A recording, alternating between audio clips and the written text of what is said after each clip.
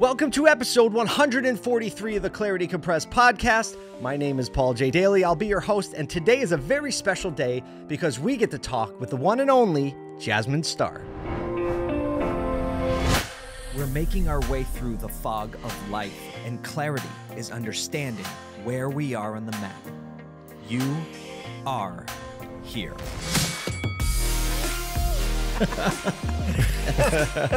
Let the good times roll. This is Clarity Compressed. So, Jasmine and I met a number of years ago at Hudson Yards uh, in New York City at Gary Vaynerchuk's office. Uh, we were part of uh, an pretty much, I think, one of the first groups that ever uh, did his 4Ds program, where we went in and spent a day with Gary's executive team at VaynerMedia and got to spend some time with Gary. It's really the only way that uh, our paths would ever cross from the West Coast and the East Coast. But since then, uh, we've really both seen one another execute at a distance on some different trajectories and the types of businesses we have, but very similar in the sense that they are the acknowledgement that it's a constant struggle and that nobody gets to the end overnight, that nobody gets there by not starting and not doing and not failing and not losing a lot in order to succeed. If you don't know uh, who Jasmine Star is, we'll link her up in the comments. But she has hundreds of thousands of followers on Instagram, um, many more across other platforms. And she's the founder of a, a, company called Social Curator, which is very, very interesting. It's a toolkit, really, a toolkit in a community. Think like um, kind of like Peloton for marketing and small business. So there's um, content and there's community. So really cool. We'll get into that a little bit. But today we talk about some things that I think are applicable to anyone, whether you're in business or if you're just um, motivated in life to do whatever it is that you feel driven to do, whether that's family, whether that's business, whether that's community service. We talk about how to break down time and some things that Jasmine has done to really structure her life in a way where she can get the things done that are the most important things. And I know it's easy to say, oh, you, it's easy to say that now, but she really didn't start there. I don't think any of us ever start at the end, right? We start at the beginning. And so we talk about scheduling time. We talk about going through 2020 and what to do into 2021 if you're a professional, if you're in business. Um, and at the very end, I think we get some really great, precise wisdom on what you can do to make the most out of just 15 minutes between now and the end of the year in a consistent way. So I hope you enjoy this conversation with the one and only Jasmine Star.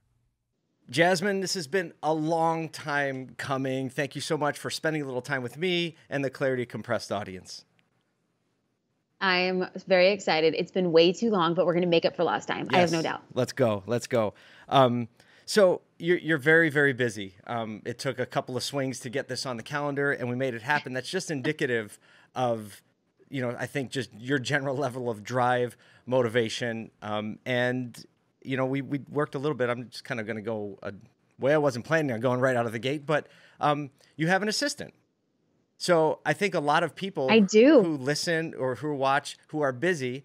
Um, I recently this year also brought on an EA, and it's changed my life substantially. And um, can you talk a little bit about um, why you didn't have one before, and what pushed you over the what pushed you over the top to actually get one? I actually like that we're starting here because I'm, I'm pretty sure half your audience is going to roll their eyes and be like, "No, I'm not listening to uh-huh. people who have uh, EAs, executive assistants, no, like no, not no, my folks." Yeah. And I just want to, I just want to call it out. I just want to call it out. Call a spade a spade. I like, I was that person a hundred percent. As the daughter of an immigrant as somebody who had no money no education to start like a business like the last thing i ever thought i would have on my team would be an assistant. And i feel like i can handle my inbox. I can make my own doctor's appointments. I can do these things. And then you finally get to a point in your life in your career it's like just because you can does it really mean that you should? Mm-hmm. in the time that i am spending in my inbox or setting up doctor's appointments or managing my calendar am I more valuable, aka more profitable, doing something else in the business? Something that is like a revenue drain versus a revenue generator. Yep. I choose the generators all day, every day. Yep. And so so just give people some context. It was a long time coming. How long were you on the hustle by yourself without the assistant? 13 years. There you go. Okay, so just I want to give a little context. 13 there. years. Right. Over overnight yes. overnight success 13 years later right? You now have an assistant. So um, I, I think that's just good context because entrepreneurs, solopreneurs, small business owners, um, even managers in businesses, general managers in businesses often underestimate how much or overestimate how much they can get done. And if they're anything like me, I have a hard time prioritizing what I should spend my time and attention on. Right? I'm the kind of person that uh, I like checking off the boxes, and just my personality type, I naturally have a hard time prioritizing. Um, I'm like, oh well, if I can just do this thing, then I put it aside. That's productive. Meanwhile, we have this massive thing that you know, like a big bucket of valuable things I could be collecting, but instead I'm really excited that I like wrote that one email. I don't know. What are you the same way or what what do you see? What do you see out there because you're someone who is connected with hundreds of thousands, maybe millions at this point of small business owners that look to you not not for just like Instagram advice, but for business advice and management advice. So, what do you what do you think? You know, I actually would say it's probably the inverse. I'm actually rather good at prioritizing, mm-hmm. but as a creative entrepreneur, it was robbing me of the thing that made me me. Mm-hmm. And because I was good at prioritizing, I was being super responsible, but in the process of being responsible, I was forgetting the thing that made me tick and that made me special. And like, I know how to synthesize, I know how to create content, I know how to, um, um, contextualize content for different industries and business owners. And what was happening was I was being so caught up in the weeds that it was preventing me from stepping back and being like, what do I need to go? Where do I need to be? And how do I need to serve? And when I realized that getting an assistant wasn't about me, it was about putting me in a position to serve other people in a bigger capacity, and then all of a sudden it became super easy for me to rationalize the decision to invest in an assistant. Very good. Yeah. So, like, definitely opposite mentalities, but at the same time, like knowing same, knowing yeah, what lane exactly. knowing what lane you can run in, and basically structuring your life so that you can run in that lane is really the point of anything. Whether it's an assistant, whether I think it's a digital solution or a template or something, some right. organizational system, running in your lane is something that um, I think a lot of people struggle with, or at least struggle with optimizing. Which kind of brings me to the main context of what I think our conversation should be, and that's this crazy thing that we're all calling 2020. Um, 2020 started off in a really great way. Um, I read a Forbes article, an article Forbes did on you early in January um, from 2020, and it was, it was, it was funny to read that article and then just realize what happened, like the world you were living in in 2020. So let's talk about 2020 for a second. How has 2020 played out for you now that we're almost through it? You know, Paul, um, as um, as an educator, as like a content creator, I held a class. Talk with the bravado. I held a class in January entitled 2020 Vision for 2020. Okay, I thought I was like super cute. I was like, oh, I'm feeling kind of fly. This title, it's all branded. And it's like, what a fool! Like, if you really had 2020 vision, you didn't see that coming, honey. You yeah. did not see the year you that probably failed. you probably would have went somewhere and hid and started to cry if you had that far vision. like I don't. People are always like, "Do you want to know how you're gonna die?" I'm like, no. No, no, I don't. Exactly. Yeah. No, when you want to like live like it's live like it's your last day on earth. Like no, because it's gonna be like, oh my gosh, it's my last day on earth. right. So so you had you had a cute title, cute name, right? You it was it's all wrong.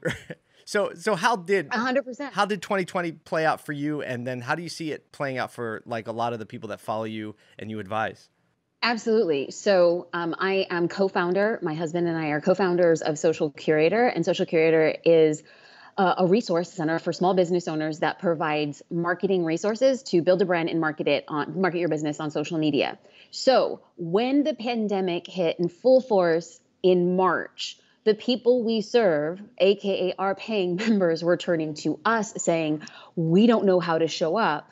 And many of our members, we serve a creative community as well. So we're talking about travel agents, wedding photographers, DJs, venues, and they're like, the our business hit. disappeared overnight. Yeah. And so we have to be able we had to be able to um, really strategize what it meant for people who were affected by the pandemic in different capacities. Some people it was like all systems go.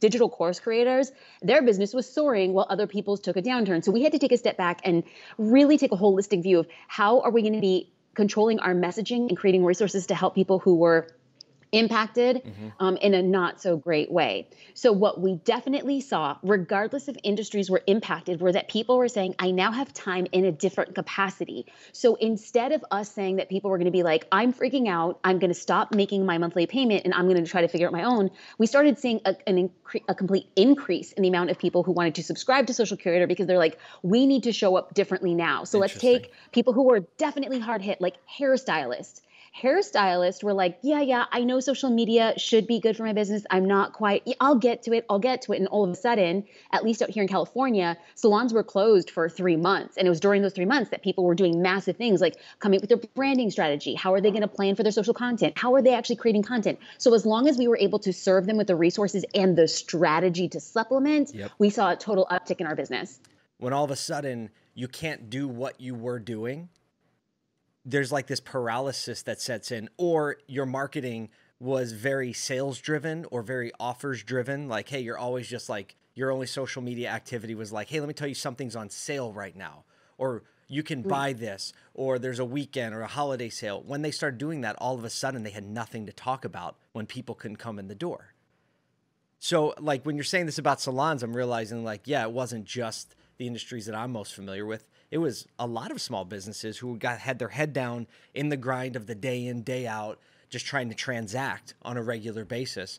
But it sounds like what you advise them and kind of the angle I take as well is like hey there's it's never too late to start defining your brand strategizing how you can serve people not just with what you actually sell but all of the things and the halo of things that is around what you sell the lifestyle the education etc a hundred percent. And one thing to really take into consideration is that there was a point in time where we had we were afforded the luxury to be judicious about what we as business owners were willing to do. And then all of a sudden, when everything was stripped away, you're like, listen, I never would ever go live on Instagram and watch me go live on Instagram. So many people like, I'm never gonna do, you know, like people were complete, complete against TikTok and then all of a sudden, when TikTok hit Instagram, aka Reels, it was like they were struck with there. You have to show up in this capacity, and you have to get noticed. And people now have a willingness, a grit, an mm-hmm. unrefined, unabashed chutzpah to say, I'm going to take whatever I have to make it work. And I absolutely love it. You talk about what it takes to get your business going. Um, let me pull it up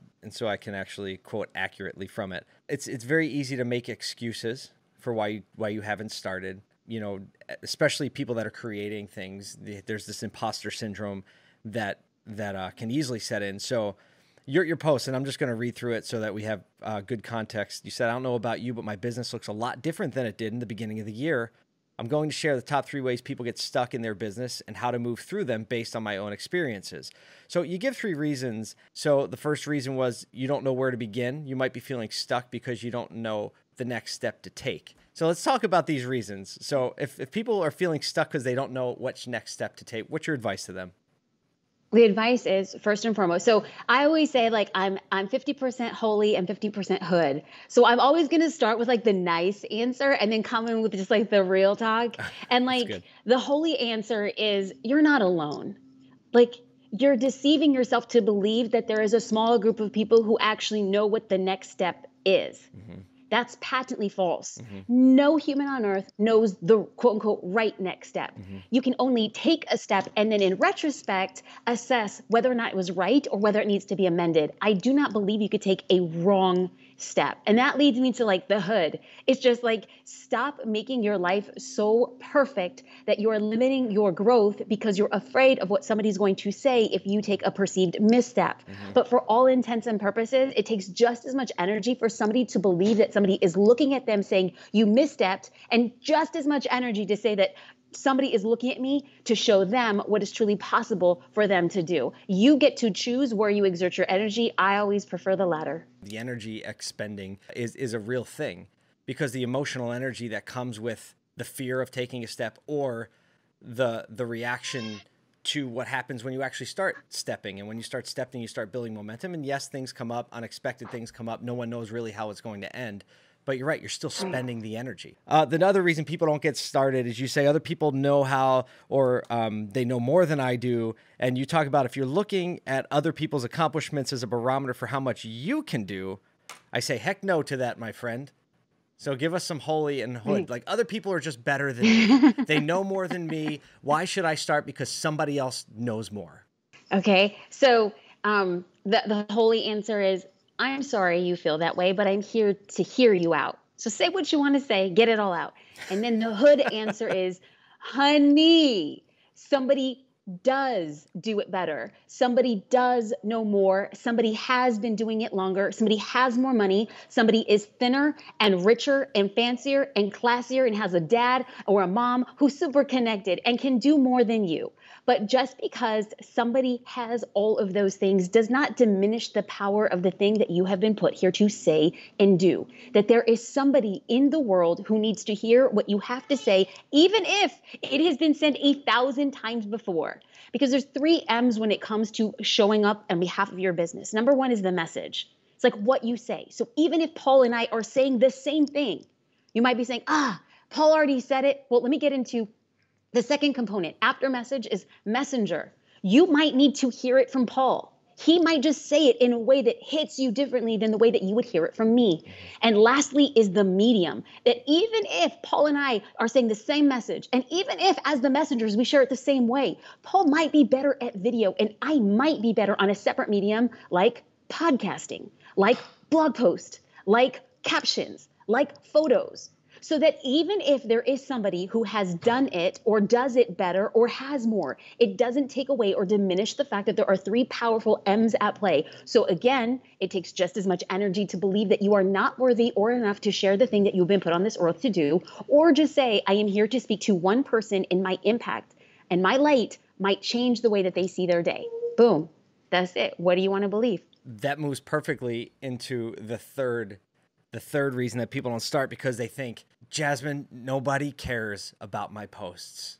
Nobody cares about my posts. Why should I even post them? A lot of people care about your posts. Look, you have all these hundreds of thousands of followers, and you get likes and comments. Everyone cares about your post, but nobody cares about mine. Well, that's why people don't start. Side. Right. Yeah, the holy side. Give it right, to us. The holy side is just like if you share your message and it impacts just one person, you don't know like my father has always raised me to believe that you change one person and you change a home and if you change a home you change a street and you change a street you change a neighborhood you change a neighborhood you change a county and then you change a state and then you change a nation when you have the ability to impact one person's life that should not be diminished that's the holy side now the hood side like the hood side comes out and says, honey, nobody's going to care about what you say until you care for them. We cannot walk around the internet with our hands open to be like, everybody pay attention to me, pour something into my hands. The way that the way and the reason that many of us, myself included early on, was not getting likes, comments, shares, or engagement was because I wasn't giving what I ultimately wanted to get. And yes, I'm going to get all biblical principle here is you must give far more than you ever expect to receive. The same principle works in life and on social media. So I call it the 10x rule. If you want somebody to like your photo, go and like 10 photos. If you want somebody to leave a comment, go and leave a comment more than four words on somebody else's posts. You must give far before you ever get. Today's a day and age when, regardless of whether or not you have a small business or you're trying to sell a product, um, we see this a lot on LinkedIn these days. There are people that now need to make a representation of yourself in, in public, online, um, if you want to be considered for positions, if you want to be considered for people to buy your product, if it's a B2B product. And so there's an element of what you're saying now that used to be it was either A, um, kind of just for your own ego, right? You want to, you want to just, I want people to follow me to make me feel good about myself. But then maybe that transitions to like, well, actually, I have a product or something I'm selling. So I need mm. to get a following so I can sell my product. And now I feel like there's this other category where it's almost like to be a participant in the world.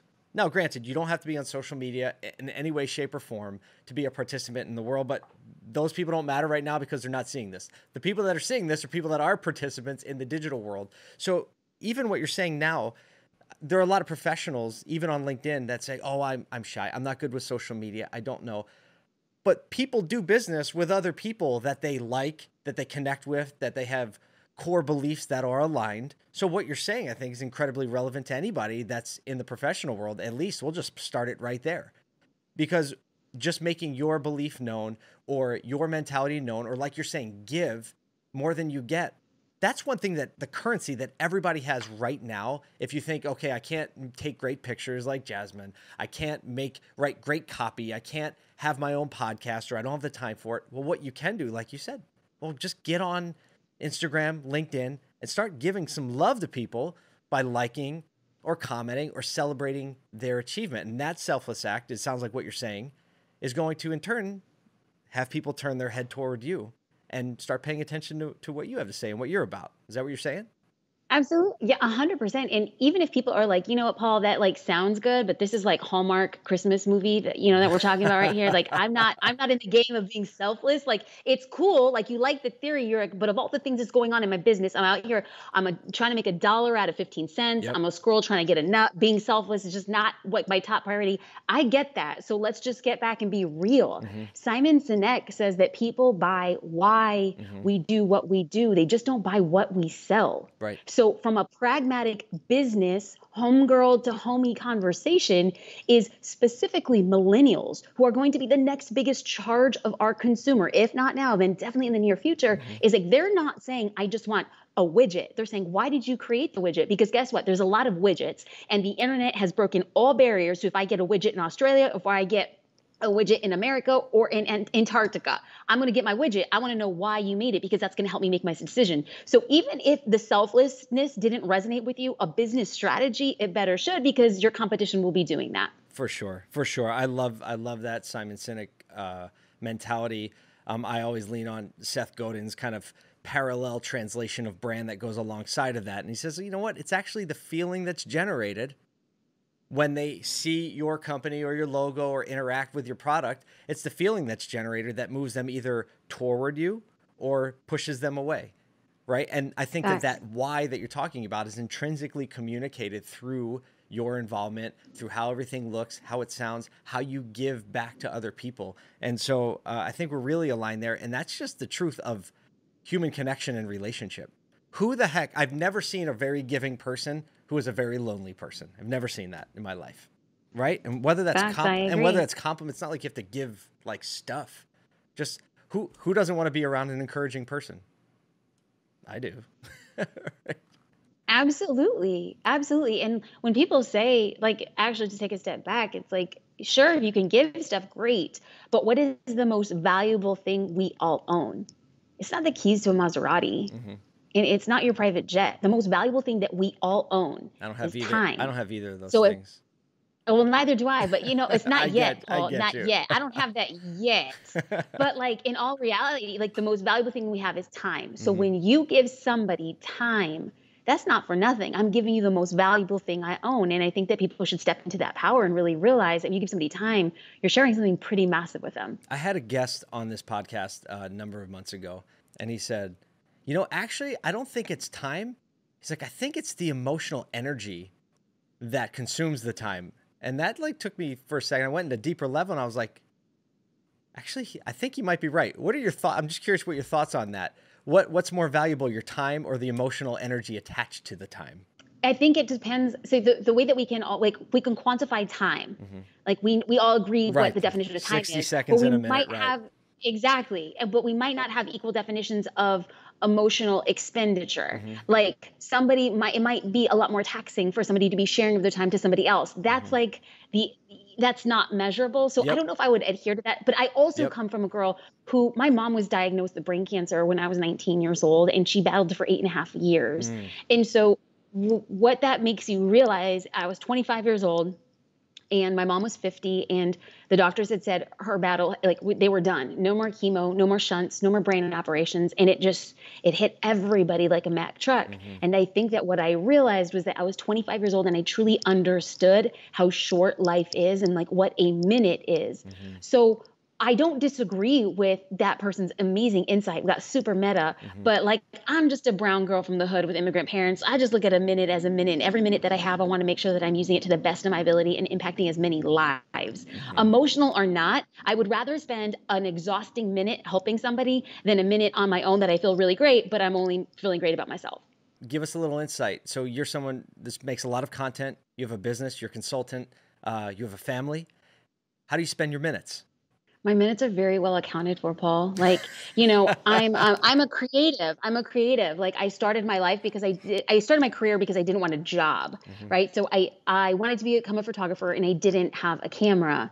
And so my brand new husband we'd been married just a few months gifted me with a very simple camera and that started my first career as a professional and then the thing that i realized that is if i wasn't extraordinarily careful with my time i wasn't um, padding the time for me to actually create mm-hmm. and so what happens is we get in this like idea anybody i, I know you're in the automotive industry and like you're like i'm gonna make be making uh, the last i remember the last time we spoke you were making these really like, beautiful like videos right like mm-hmm. let's just say like my dream is to make these gorgeous videos and i'm just gonna do this all day and then this, they're, just, just gonna get done when they get done. And all of a sudden you're struck with the realization that like no that's not a business 80, right? Yeah no, right. it's not. you're out of business 80% of your time planning and executing and 20% of their time doing the thing that you want to do. And so what i realized if i wasn't really careful with the 80% of the logistics i was losing the 20% to create so now as a founder and a ceo it's like my minutes are accounted for i know it sounds ridiculous but i wake up every morning at 4.30 in the morning i don't have an alarm it's just what time i wake up I sleep and I'm just one of those people who need six to seven hours. Mm-hmm. I'm good. I just I bounce out. This is what I do. And every minute starting from 4:30 throughout 6 6:15 are accounted for. All right. So I need to dive into that a little bit more. So you say they're accounted for. What do you really mean by accounted for? Well, I think I'm Are really pissed off of Yeah. Oh, 100%. Like I schedule like truly minutes. So I wake up at 4:30. I'm one of those people who when I'm I'm up, I'm up. So 4:30 to 5, I pray, I read. I have just like I have me time. I have like get grounded, get soul time. 5 to Six, I am in my inbox. I am managing like what's going on for the day. Were there any fires overnight? Who needs what? And then from six to seven fifteen, I work out. I come home. I wake up the baby. I feed her. I get her ready for the day. I hand her off to her dad. I shower, get ready for the day. I come back to her, read, put her down for a nap, and then I'm in Slack for an hour. And then I go into what's going on for the rest of the day. Today is a day that we had four podcasts back to back. And then after this, I'm going to have a meeting to plan with a graphic design team what the new website's going to look like. And then after that, I will be able to finish some copywriting for some projects. And then I'm going to call it a day. It will be a good day. I think by like 715, I'm like looking, thinking of my 4:30 to 7:15 right now. I'm like, oh, that sounds so amazing. well, look, I know some people will either get motivated or demotivated by that. Um, right. I- am gonna right. take it as motivation because I think you, you prove that like there's an element of like some people like it's their natural wiring, not natural wiring, right? And one thing I've learned is that you try to do things that aren't in the natural flow of who you're wired to be, it never really lasts. But the flip side of that is like you should do uncomfortable things for your personality because that's where really growth comes. And so, have you always been that scheduled? No, I was I, I have not. I, I, I I hated schedules. That's one of the reasons why I just never could get a job. Was like I just hated that rigidity. And I, I'll just take a step back. Like I had the luxury, like capital L luxury, that when I plan my day so so fastidiously, I'm actually planning for pockets of time to do like nothing. Mm-hmm. That's what that's what being so rigid means. It's not like I'm just working 14 hours a day. So like for instance, today at 8:30 a.m., it's a very California thing, Paul. I mean, you're going to roll your eyes, but we have My sister lives in San Diego. UV saunas. I, I oh. okay, okay, okay. So you get it. So oh, okay, maybe maybe not. Sauna. Then you said UV sauna. I'm rolling my know, eyes because I, I, live in Syracuse. Know, but go ahead, go no, ahead. But it's like it, it's it's it's powerful. It's detoxing. And so as we're actually reframing what we're going to be doing in Social Curator in 2021, I was just like, the problem is I'm so on my computer, I'm so in it that I I can't see the forest for the trees. Mm-hmm. And so if I'm actually gonna if I'm gonna bring my my brain down to nothing, I need a space to do it. Yep. So I set up a one hour UV sauna. I go into the sauna. It's hot. Mm-hmm. It's 115 degrees, Sounds and I terrible. just sit there for 40 minutes. Oh my gosh! And you're detoxing, but you're just doing nothing, Paul. And I'm thinking, I'm saying I'm doing nothing. No, you're sweating and you're long dying. Vision for my dream. No, I might be dying. I'm dying to my old self. Okay, I'm gonna come on rebirth like a butterfly for 2021. You know, that like, sounds like what if I ever get captured I think that's how they would torture me is put me in a UV sauna. But go ahead. So, but either way, you found. Tell you, fall. you you walk out. You walk out. You walk out. It's like float like a butterfly, sting like a bee. Watch out. I'm about to. I'm You about feel- to you slay. feel great? All Because right. what happens like you turn your brain off. And all of a sudden, you're coming out and you're like, I see it differently. And that kind of like one two punch, like cerebral, soulful, and then just like hustler, And the- I think it all works. Yep. And then my there, favorite. I mean, like, look, I'm not going to argue with the fact that I'm sure there is a very physical benefit of detoxing. I'm gonna, I'm gonna, I'm gonna tell my wife. All right, Jasmine said UV saunas, and we're gonna go find one somewhere. We're gonna do this for an hour, and she's gonna love it because I'm gonna be dying because I hate being hot. This is gonna be great. Okay. So, but, but to get back to what we were talking about, um, you were saying that's I always the schedule. you became scheduled. You no. weren't always scheduled. You became scheduled. Because, like, tell me about that that shift and that transition when you said, you know what, enough of this not being scheduled. I need to try something else, and maybe, just maybe, being scheduled is the answer. I, it was definitely a migration, but I'll like lead with the truth, and that truth is like I'm a cake eater.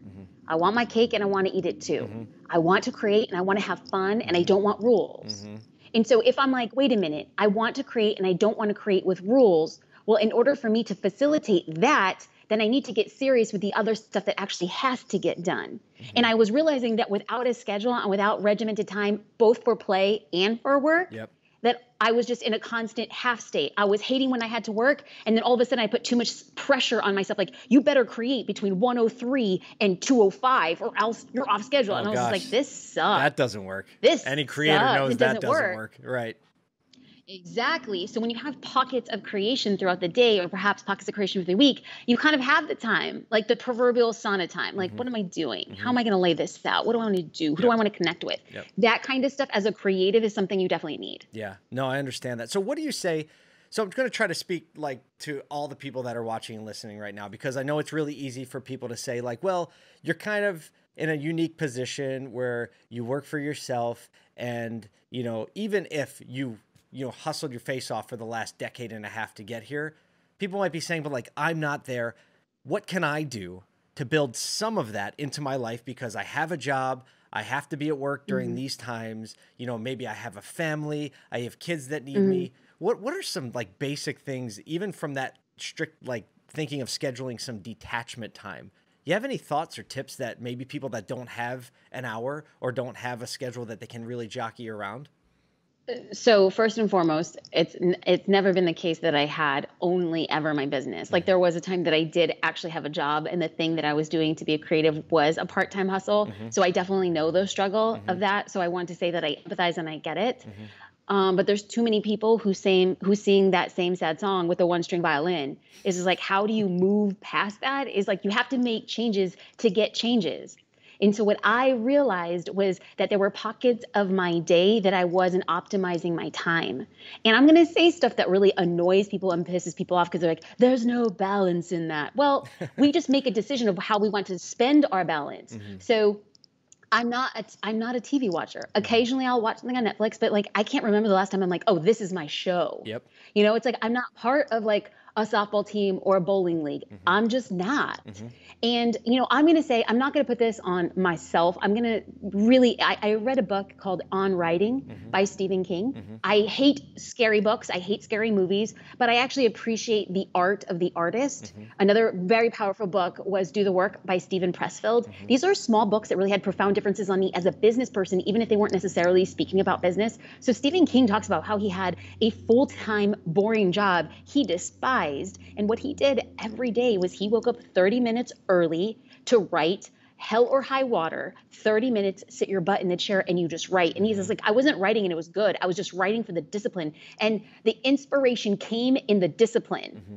It just doesn't hit when you're like okay i'm ready for it. You only get inspiration when you're disciplined enough to actually be open and waiting for it. And that's when i realized that if people don't have pockets of time is to really assess what are you doing with your time. If you're watching tv if you're hanging out, there are other opportunities for you, yeah, to wake up a little bit earlier, even if it is 15 minutes, because 15 minutes wisely spent is better than circling for 45 thinking you should be doing or going somewhere else. Totally agree with that. That's great advice. You you know, we we both you pay a lot of attention, have a lot of interaction with Gary Vaynerchuk, and Gary really does a great I think job. you have more interaction with him. I You have more interaction. Not anymore. mutual respect. Yeah. like I just, you know, I'm just like JD's like my husband's just like, do you think Gary knows your name? And I was like, no, Yes. I don't think he knows. I my bet- name.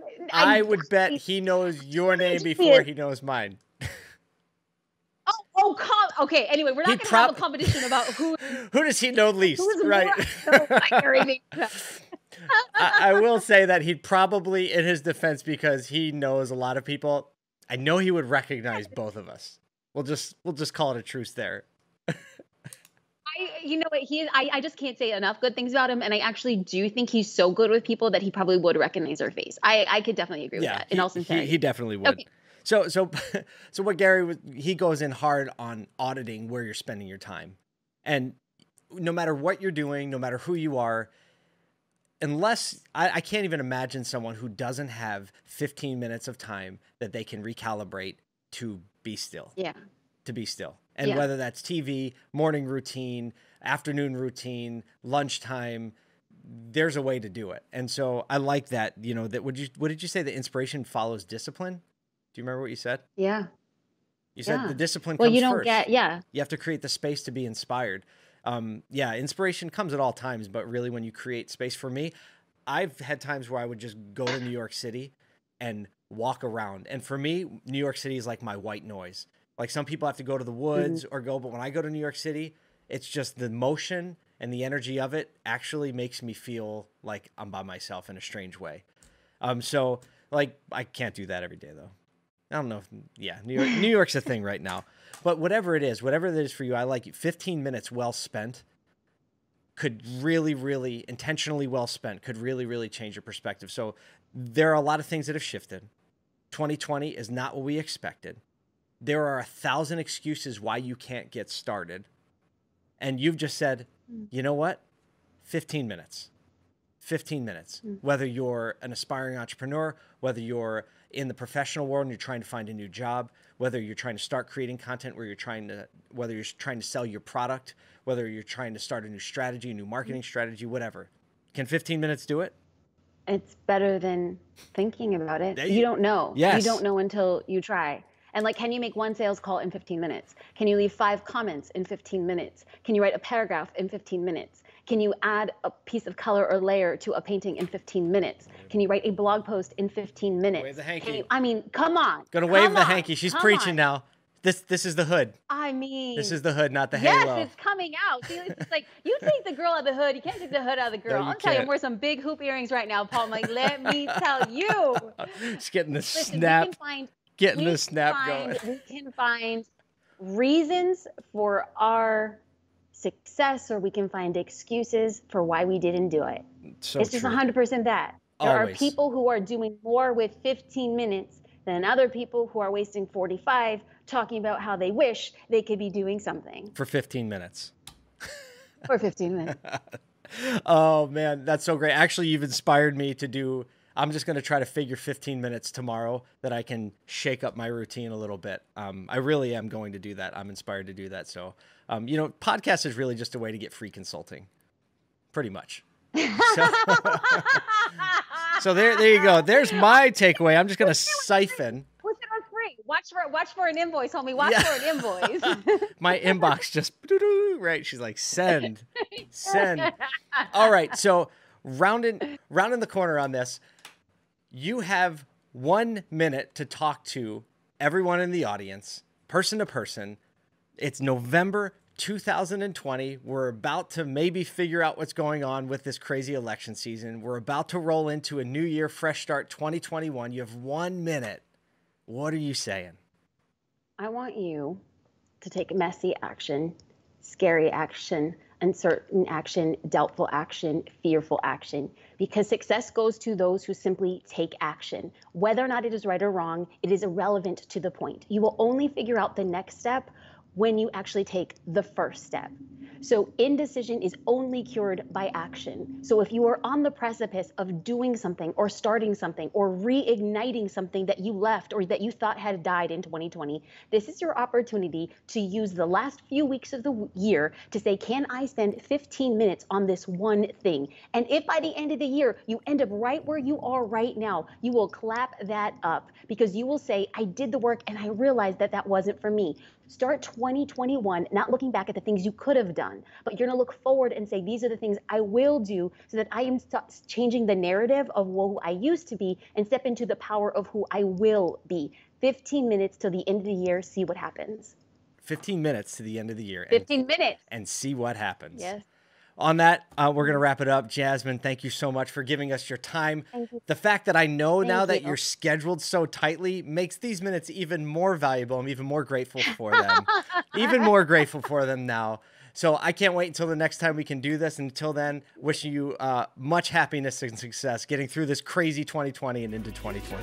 Thank you, friend. Thank you. Much love and God bless. I appreciate you. So there you have it. I love the concept of like, well, I'll give you the halo and then I'll give you the hood. I can really relate to that. And I think that everyone from this podcast, you know, you know my intention of even making this content, taking the time to do it and taking the time to put it out and so that you can see it is that you'll actually take some action and that it will give you clarity. And when I say clarity, I mean perspective on where you are on your journey. And once you have perspective, then you can make the right decisions as you navigate through it.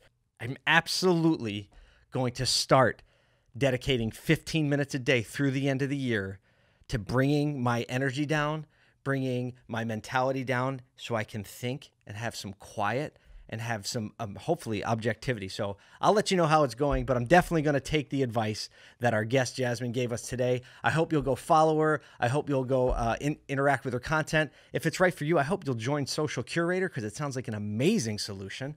And uh, until then, I hope you pursue clarity, and I'm just thankful that you spent some time here. I hope it's worth it. I hope you share it with a friend. And what I, if you could just go leave a review of the podcast on iTunes, uh, that would mean the world to me. That helps more people see it and helps us blow this thing up as as much as we can. So until then, I will see you next week. Pursue clarity.